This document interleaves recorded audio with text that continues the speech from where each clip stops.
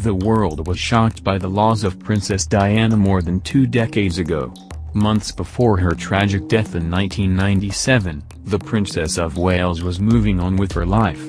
Her divorce from Prince Charles was finalized and she was focusing on her charity work and raising her two sons, Princes William and Harry. But something may have been bothering Diana after she left the royal family and she allegedly thought she was in danger. What the princess reportedly did months before she died led many to believe that she somehow knew what was going to happen to her. Here's more on if and how the princess predicted her own death. Plus, did one person tell her she wasn't going to live? Did Diana write a letter about being in a car accident? Just before midnight on August 30, 1997, Princess Diana and her boyfriend, Dodi Fayed, left the Ritz Hotel in Paris and headed to Fayed's apartment. As they left they were chased relentlessly by the paparazzi. In an effort to lose the photogs, the driver of the Mercedes S280 limousine they were traveling in sped through the Pont d'Alma tunnel but ended up crashing into a pillar. Fayed and the driver, Henri Paul, were pronounced dead at the scene but Diana was still alive.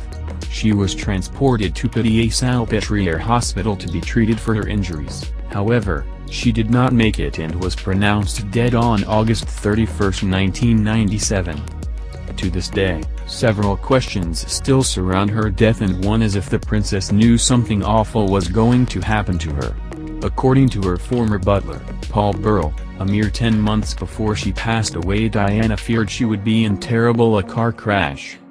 Burrell claimed that Diana wrote him a chilling letter saying that she thought she was in danger and was worried that Prince Charles was plotting an accident so he could marry someone else. Burrell did not reveal the contents of the note he said Diana sent him until 2003. This particular phase in my life is the most dangerous, my husband is planning an accident in my car, brake failure, and serious head injury in order to make the path clear for him to remarry, she allegedly wrote. Did an astrologer tell the princess she was going to die? Burrell also shared that Diana met with an astrologer before her death and that person may have put some thoughts in her head. Some of these thoughts did come from mystics but you can't get away from the fact that she wrote it, Burrell said. She took time to sit down and actually write down her fears.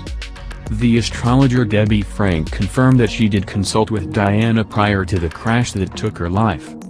We were looking at her chart and I said to Diana, oh there's an eclipse. Frank recalled to the Sunday she was really happy with Dodi, she was spending more time with the boys and embarking on more work as an ambassador. We thought the alignment could be a positive. Frank insisted that she did not predict the tragic event or tell Diana that she was going to die. I had no idea she would die. I would never have been able to stop it, Frank said adding, let's get one thing clear, astrologers can't predict death. So I couldn't tell her not to get into a car, or to stay at home. Some things are tragic fate.